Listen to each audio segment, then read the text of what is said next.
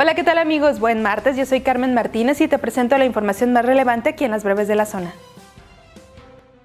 Al menos cinco hospitales de Guanajuato ya reportan una ocupación superior al 50% por enfermedades respiratorias.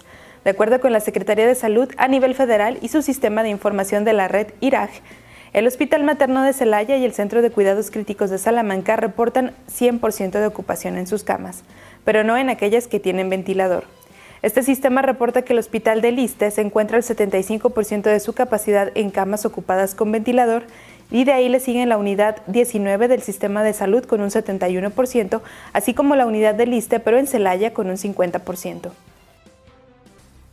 El secretario de Educación Jorge Hernández Mesa mencionó que desde la dependencia no habrá presión a papás y alumnos para que cumplan con clases presenciales. Este lunes inició el ciclo escolar que se retomó buscando priorizar la presencialidad, pero ante el incremento de contagios ha habido preocupación de padres de familia. El funcionario estatal detalló que ayer regresaron a clases 43.4 en modo de presencial al 100%, 54.3 en esquema híbrido y 2.3 en esquema a distancia. Con un aforo lleno a pesar de la alza en contagios de COVID, la alcaldesa Alejandra Gutiérrez Campos presentó su programa de gobierno 2021-2024, en el que prometió seguridad, salud y espacios públicos.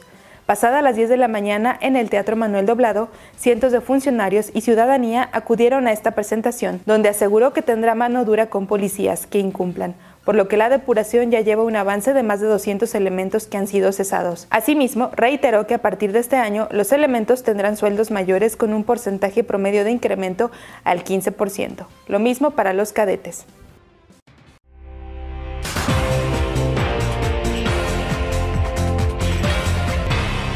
Quédate pendiente de todo nuestro contenido y no te olvides de leernos en zonafranca.mx o de seguirnos en nuestras redes sociales. Más tarde ven la información que te tiene preparada Vania Jaramillo.